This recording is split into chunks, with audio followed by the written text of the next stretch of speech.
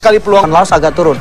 Tapi sekarang penampilannya sangat bagus, sangat baik memberikan energi di lini tengah. Ya, ini dimulai dengan tendangan bebas tadi yang dilakukan oleh Evan Dimas ya, Betul. Maruf yang terkena tiang gawang uh, dari Vales Bayan dan ini adalah tendangan yang sangat luar biasa, sangat akurat dari Hargianto di menit ke-27 dan akhirnya membawa Indonesia sementara unggul 1-0 dan tidak ada yang bisa dilakukan oleh Vales Bayan sebagai Ya, gawang ini adalah gol Hargianto kedua di kompetisi resmi. Sebelumnya dia mencetak gol ketika semifinal melawan Timur Leste dan sekarang tendangan gol bebas yang luar biasa Ya.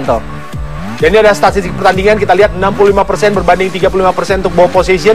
Kita lihat shot off target dan juga shot on target. 85 dan 01. Sangat jauh sekali dibandingkan Indonesia dan juga Filipina. Iya, ini adalah sebuah statistik yang mutlak.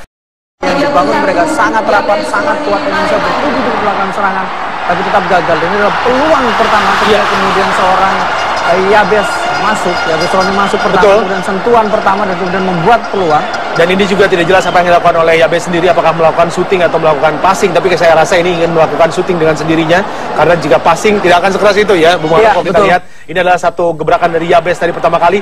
Dan ini adalah satu hal yang sangat baik sekali ketika kita melihat seorang uh, Paulo Sitanggang memberikan umpan yang sangat baik terhadap Yabes. Ya, ini juga sebuah keputusan tepat ya, Pes. Kita lihat posisi dari seorang Roni yang sudah menduga bahwa bola itu kemudian akan diberikan kepada partnernya, kepada Muklis. Tapi kemudian ternyata keputusan lain.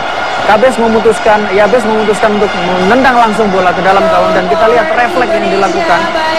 Gagal sepertinya dia tidak menduga karena itu sangat sempit kemudian ada gerakan penutup yang sudah dilakukan. Ya, ini passing yang luar biasa ya. Betul. Kita lihat passing yang sangat luar biasa melewati dua pemain. Dan di sini juga Yabes melihat bahwa ada peluang ketika memberikan passing, tapi kiper juga sudah mengharapkan akan dipassing. Betul. Tapi akhirnya dilakukan tendangan dalam sudut yang sangat sempit. Iya, ini adalah gol pertama seorang Yabes. Ini adalah statistiknya 70-30 praktis. Saya sepakat dengan statistik ini. Kemudian catatannya juga sama praktis. Memang Indonesia menguasai pertandingan. Tapi persoalan bahwa kemudian